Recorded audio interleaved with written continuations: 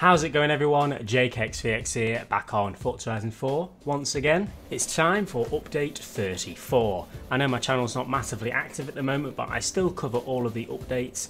I tried to cover the on Tuesdays, we're not going to lie, this month I completely forgot, so whatever. But today's video, I have everything you need to know about update 34. It's quite a good one. Before we get into that guys, the social media that I am most active on is Instagram. So if you want to follow me on Instagram, go ahead and do that so you'll get to see pictures of my new car.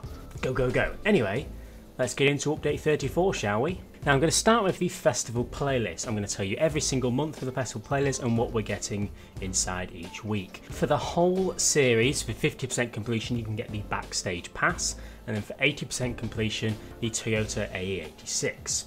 Now for the first week, which is summer, at 50% completion, you can get the first new car, which is the Porsche 356 RSR Emory, and then for 80% completion, the Rover SD1.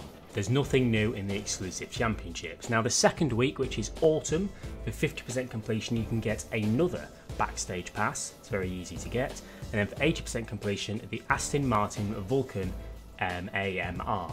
And then once again in the exclusive championship, there's nothing really new. Third week, which is winter, for 50% completion, you can get another backstage pass. It's full of backstage passes this, this month, so if you have some exclusive cars that you can't get, get those backstage passes and buy them. And then for 80% completion, the Aston Martin DBS SL 2019. And then there's nothing new in exclusive championships. Now, spring, which is the final week, for 50% completion, you can get the Renault Clio from 2003, and then for 80% completion, the Volkswagen ID.R. And then, through an exclusive championship, you can get the second new car of this update, the Pontiac Firebird from 1968, as seen on screen right now. And then through another exclusive championship on that week, you can also get the Alien Morph Suit. If that's something that interests you, sort of a rare thing, you can get that then as well. So that's the um, festival playlist for update 34. Two new cars in the playlist, um, lots of backstage passes. It's not too bad.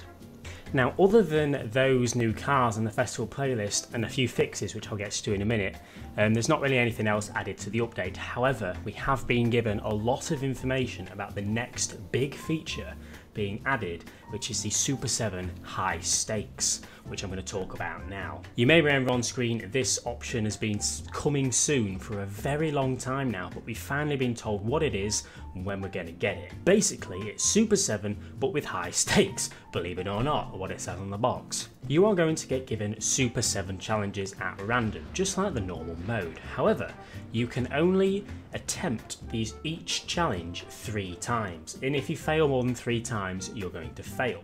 Now, every time you complete one of these Super 7 challenges, you get given prizes and rewards which get put into a prize pool. Does that make sense so far? So let's say you do one, you complete it within three goes, you get given a prize and it gets put into the prize pool.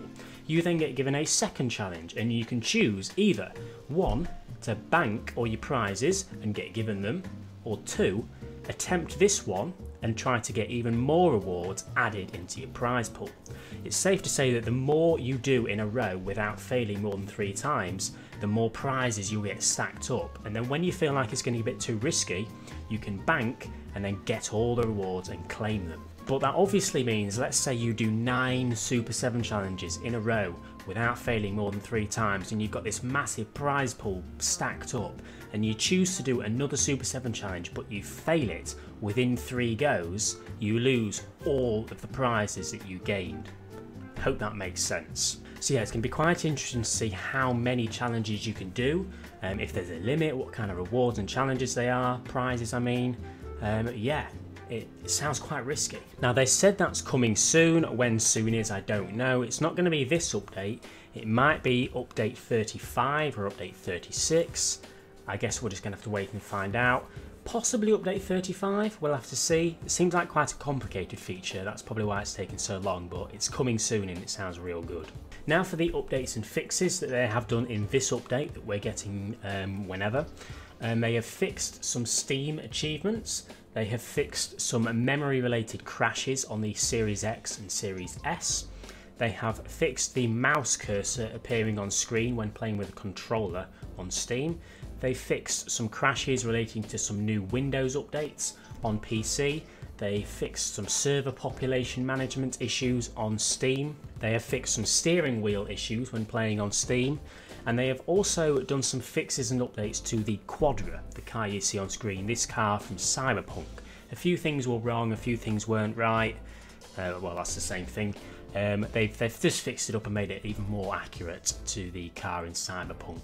Um, so, other than that, that is everything you need to know about update 34. Two new cars, lots of information on the high stakes feature, which I'm really looking forward to. And there you go nothing else to say. So let me know what you're most looking forward to in this update. Only two cars, but I mean the game's years old now. You can't expect that much for free. Um, I am looking forward to that new feature though. That's going to be awesome. Leave a like if you've enjoyed, guys. Subscribe if you haven't already for more Forza Horizon 4 content. I'll see you all later.